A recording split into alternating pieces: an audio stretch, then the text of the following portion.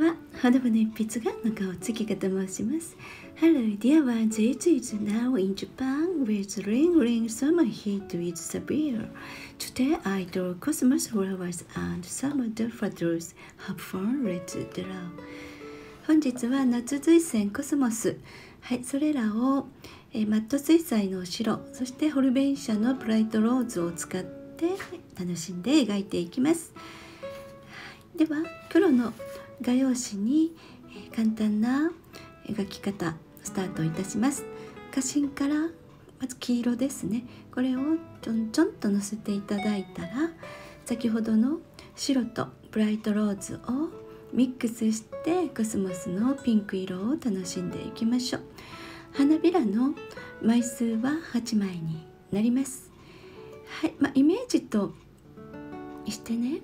えー、まあ、このようにまず5枚を180度加減に書いてで下3つを残りまとめていただくとなんとなく8枚にはなるんですが慣れてくるとこれらを崩しながらでもできると思うんですが、まあ、今回初心者様用にゆっくりと描きました。はい、そしてちょっとね赤っぽいお色でクシュクシュっとこのように置いていただいた後筋をね、えー、シャンシャンとこう入れていただくとよりコスモスらしくなるかと思います。はい、コスモスのピンクの花言葉は乙女の純潔とか乙女の真心とかになります。で茎そして今葉っぱですが葉は線のように細いんですけれども台風などで倒されても茎の途中からまた根を出して、えー、立ち上がってさらに美しい花を咲かせるというねとても芯の強いお花でございます。はい、書き終えたら、まあ、今回、えー、このようにカットしてはがきへと楽しみました残暑見舞いにもいいかと思います。はい、続いて全く同じ描き方なんですが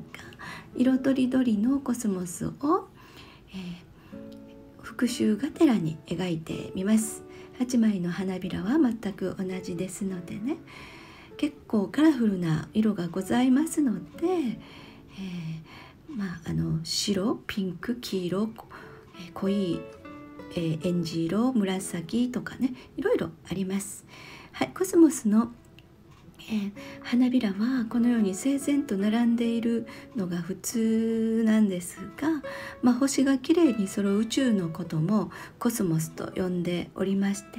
コスモスという語源ギリシャ語なんですが秩序っていう意味らしいです。はいまあ、なのでねその雰囲気で整然と書いておりますが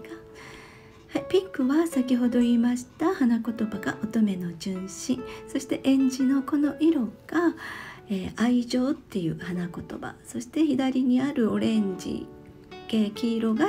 野生の美しさでパープルが調和っていうねことになってきます。まあ、他にもいろんな色があるんですが全体としての花言葉はたおやかさとか調和っていうことになります。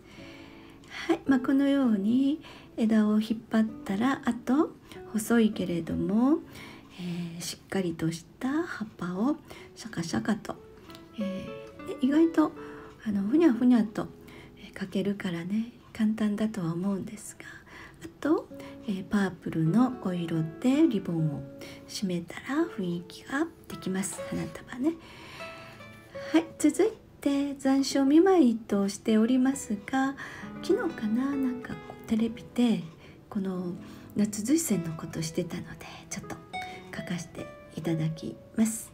はい、リコリス属彼岸花科っていうね、えー、そういうお花でとても上品な薄いピンクの色で咲きます。まあ、この色しかないんですけれどもこの夏水仙に関してはねリコリスっていう名前がギリシャ神話の海の女神から、来ているようで、まあ、それほど美しいっていうお花なんですが、ねえー、1つの茎に7個から、まあ、6個から7個ぐらいお花がつきます。まあ、これらも彼岸花にとても似ているかとそういうつき方がね似ているかと思います。葉っぱも花が全て終わってから葉っぱが出てきますので、まあ、その辺りも全く彼岸花と同じですね。はい、まあ、夏水仙です。茎をシューッと伸ばしたら雰囲気が出ます。花言葉は深い思いやりとか楽しさ。はい、まあ、残暑、えー、残暑を彩る夏水仙ということで書かせてただきますが、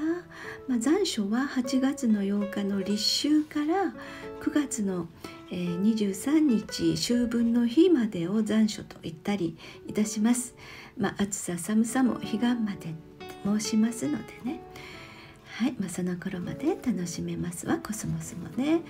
はい、本日は色とりどりそしてピンクのリコリスも含めてまた続い線ですね楽しく書かせていただきました。ありがとうございます。See you next Saturday. Thank you.